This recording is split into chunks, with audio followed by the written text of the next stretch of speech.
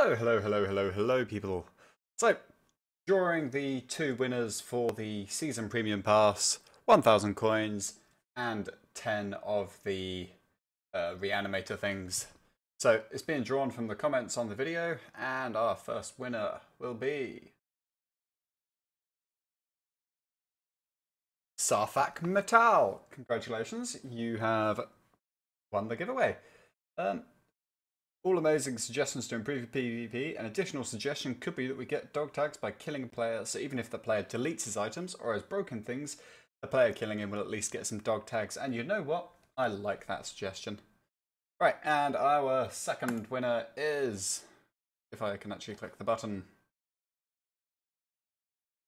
JSMS. I personally think that they should add a short period of invulnerability when you open the crate and also auto equip armor that you loot if your armor broke or if you didn't have any equipped. Yes, I do agree with adding teaming and losing durability is fine, but maybe decrease the amount lost.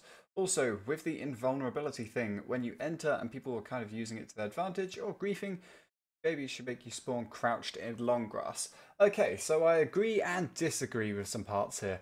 I really don't think you should be invulnerable when you're opening the crate or have armor auto equip. I'm not a huge fan of that.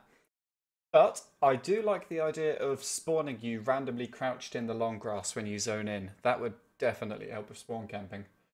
Right, there we go. Congratulations, Sarfak and JSMS. I will, um, yeah, hopefully you watch this video. If you don't, then I will draw two new winners.